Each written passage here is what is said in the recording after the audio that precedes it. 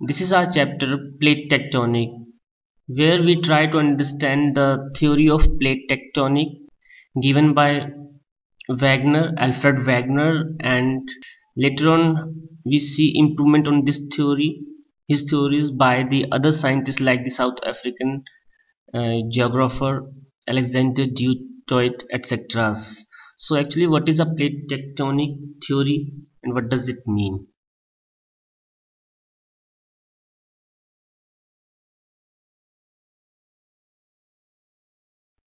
Plate tectonic is just a scientific theory that describes a large-scale motions of the Earth's lithosphere, that is the upper part of the Earth crust, how they move, and what is the movement behind it.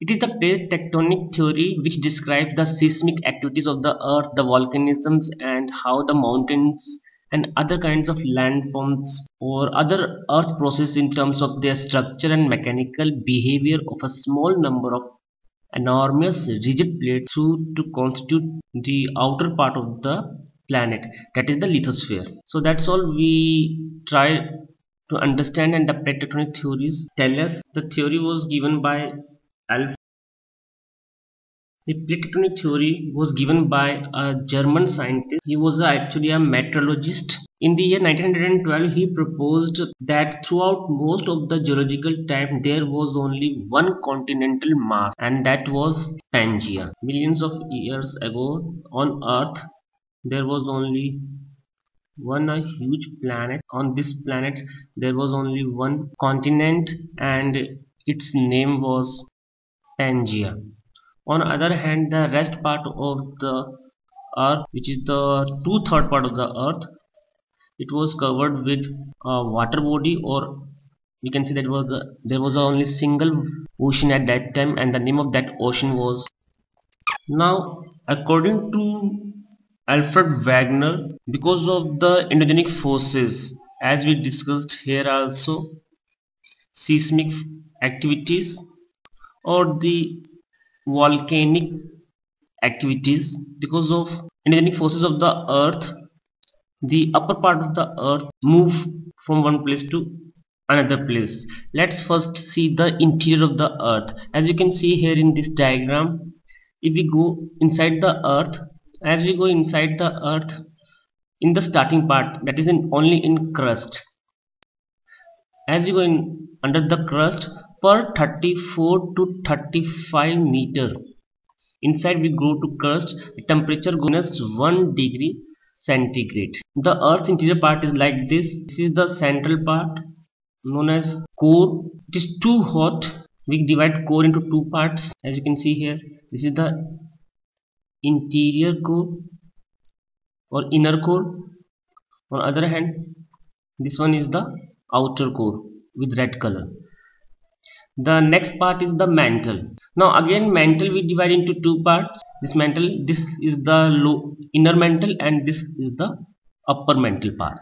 And the uppermost layer is the crust. So this crust part is the lithospheric part. Land part is there. The pangea was here.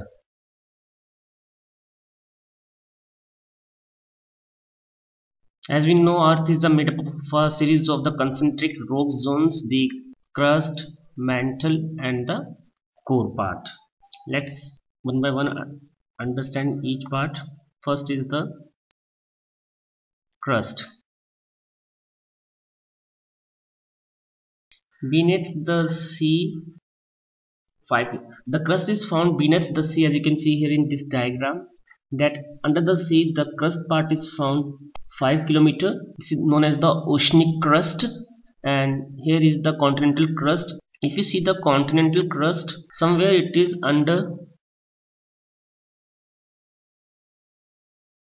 somewhere in the mountains interior part depth of the mountains it is extend to the depth of 70 kilometers also. This light gray and this dark gray and the light gray color is the lithospheric part. Here it is the continental crust known as continental crust and this is the oceanic crust. This whole is a lithosphere known as a lithosphere. As I said to you that as we go downward the temperature increase.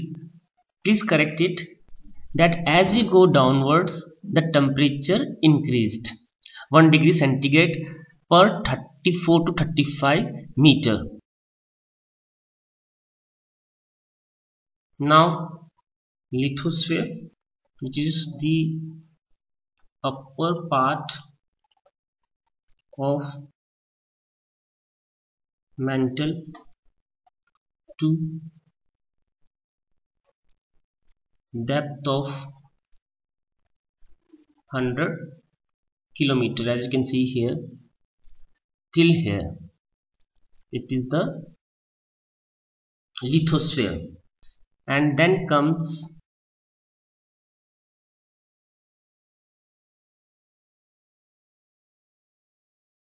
asthenosphere.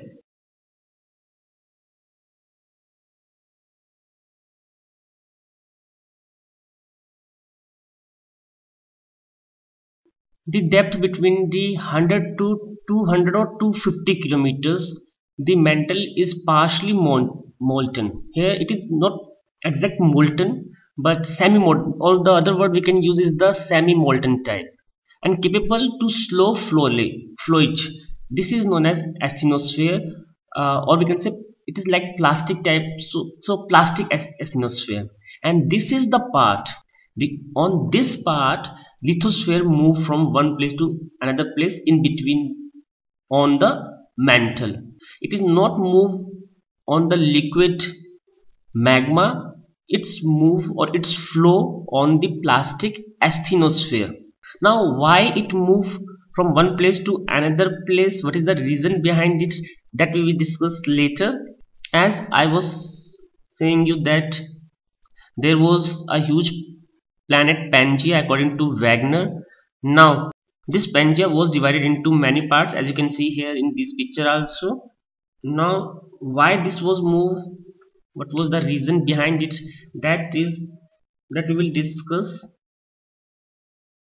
Now uh, students it is universally accepted by earth scientists that part of the crust is capable of moving horizontally round the globe causing the continentals slowly to change their position in relations to each other.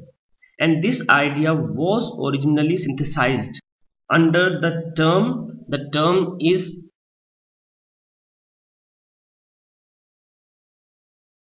that is the continental drift or the continental drift theory by Alfred Wegener in the year 1915 and he started his work because in the year 1912 so in some books we see the year 1912 also. But the his theory comes in front of the world in the year 1915 because of any reason now what happened that this Pangaea divided into two parts. Maybe because of the as I was saying you that Alfred Wegener was a meteorologist so maybe possible that a meteorite comes here and because of this Pangaea uh, divided into two parts or because of the earthquake or any other reason it divided into two parts. Actually it was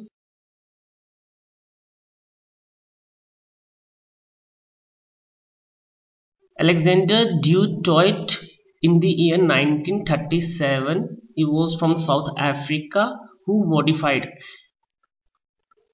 Alexander Wegener's hypothesis theories and suggesting the existence it is he who suggest, suggested the existence of the primordial continents the two continents that is the Laurasia and Gondwana upper part is the Laurasia part and downward part is the Gondwana part. As I said you that according to the Wegener what he was saying that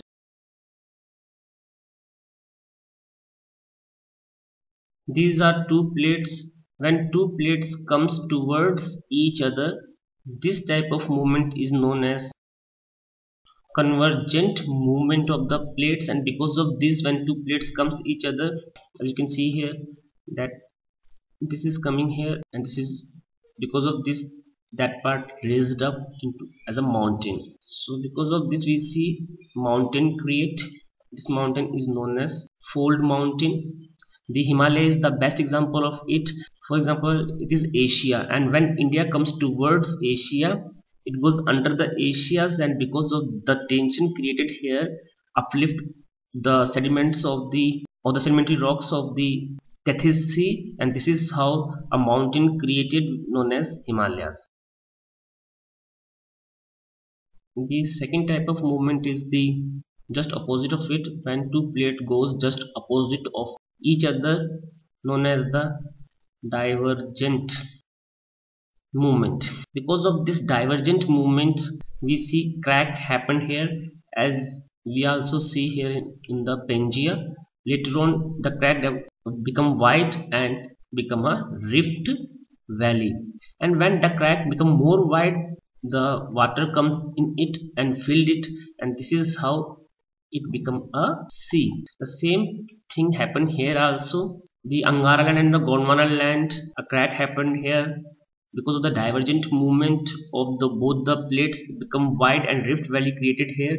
When it become more wide what was happened? The water of the Panthalassa comes in it and filled it.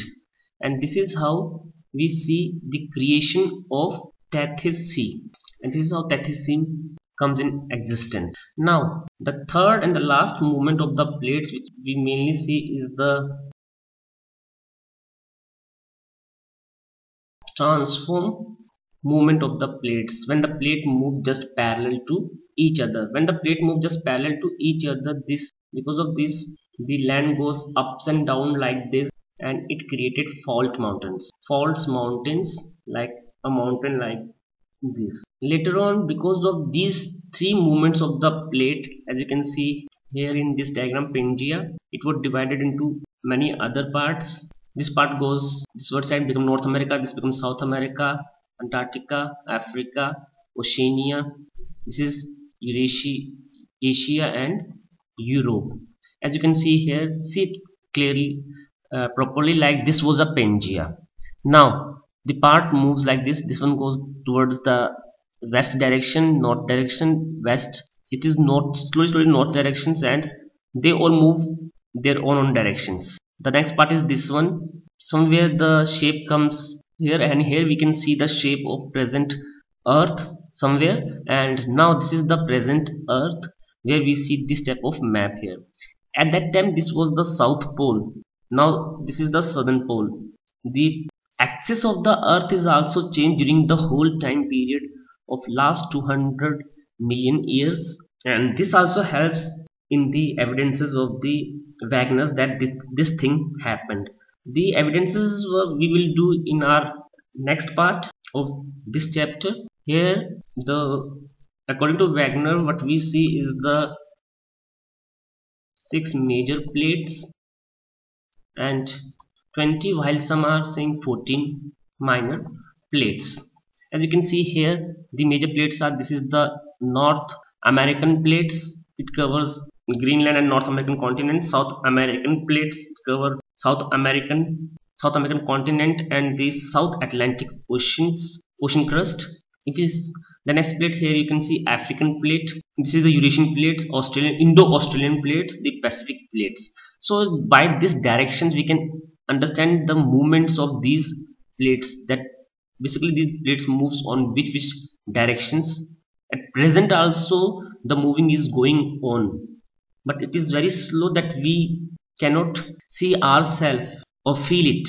This was the Permian period Triassic this was the Jurassic period then comes the Jurassic period Cretaceous period and this is the present day period.